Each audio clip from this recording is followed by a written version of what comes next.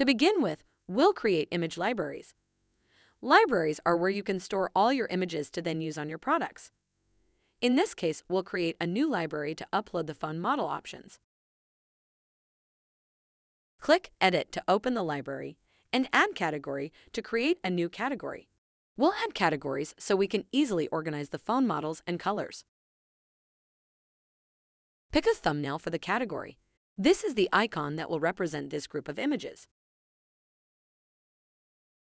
Then click Edit to open that category and add image to upload the pictures.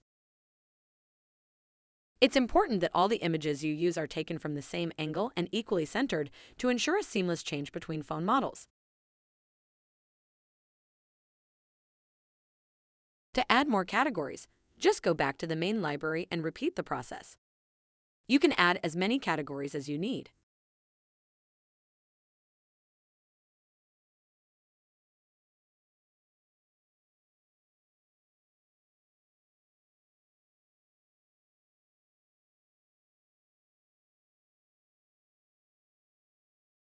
After adding all the categories, you'll see something like this.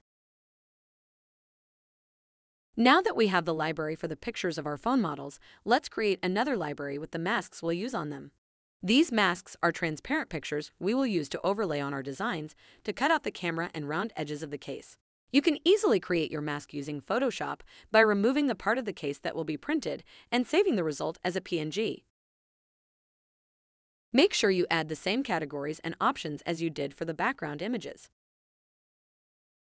Only this time, you'll upload the masks instead.